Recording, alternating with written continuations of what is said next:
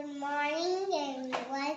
This is Anika Kapil Patel, and my favorite vegetable is mushroom. Mushroom is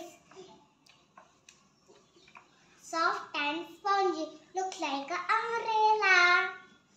It is full of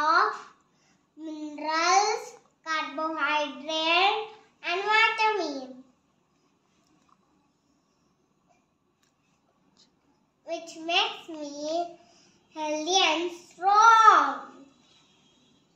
My mother makes so yummy recipe of mushroom.